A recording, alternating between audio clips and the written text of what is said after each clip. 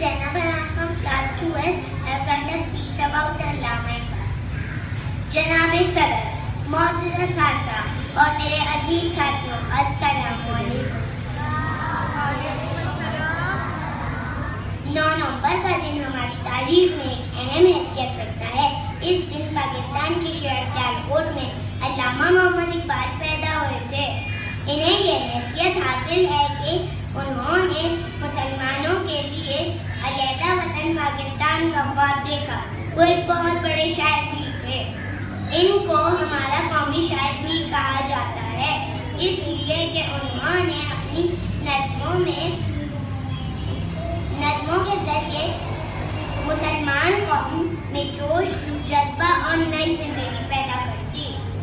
انہوں نے اپنی نظموں میں مسلمانوں کو یاد دلایا کہ مسلمان تو وہ قوم ہے جس نے دنیا میں بڑے بڑے کارنامے انجام دیے ہیں۔ وہ ایسی بہادر قوم ہے جو کسی میدان میں نہیں ہاری چلنا چلنا